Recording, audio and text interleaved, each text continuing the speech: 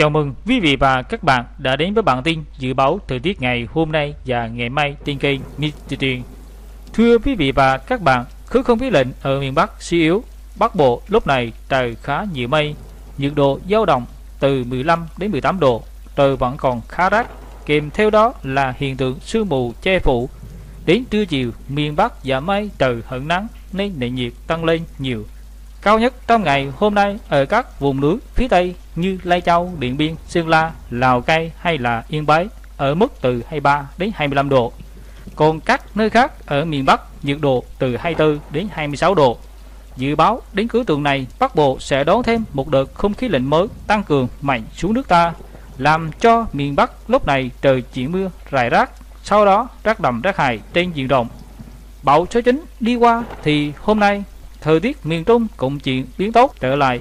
Trong hôm nay, các tỉnh thành phố từ Thanh Hóa trở vào cho đến Thừa Thiên Huế vẫn còn có nhiều mây. Đến trưa chiều trời sẽ nắng nhẹ với nhiệt độ dao động từ 23 đến 26 độ. Trong khi đó, các tỉnh từ khu vực Đà Nẵng trở vào cho đến Bình Thuận trời có nắng ngay từ sớm nên nhiệt độ cao hơn ở mức từ 27 đến 30 độ. Ở phía Nam, cả hai khu vực Tây Nguyên và Nam Bộ đều không có mưa, ngày nắng. Nhiệt độ cao nhất trong ngày ở Tây Nguyên tăng lên ngưỡng từ 26 đến 28 độ, còn ở Nam Bộ nhiệt độ là từ 30 đến 32 độ.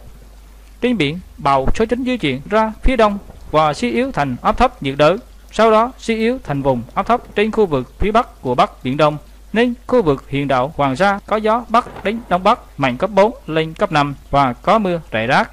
Nhưng chưa dừng lại ở đó, khi bão số 9 đã tan dần, thế nhưng ngoài khơi vùng biển phía đông nam của Philippines lại vừa hình thành một vùng áp thấp mới. Dự báo trong những ngày cuối cùng của năm 2021, áp thấp này có khả năng di chuyển vào Biển Đông, không loại trừ khả năng sẽ tiếp tục mạnh lên thành bão khi hoạt động trên khu vực Nam Biển Đông. Tuy nhiên, đây chỉ là dự báo sớm, mọi diễn biến tiếp theo chúng tôi sẽ liên tục cập nhật trong các bản tin sắp tới. Cảm ơn quý vị và các bạn đã dành thời gian theo dõi. Thân ái chào tạm biệt và hẹn gặp lại quý vị trong những bản tin tiếp theo.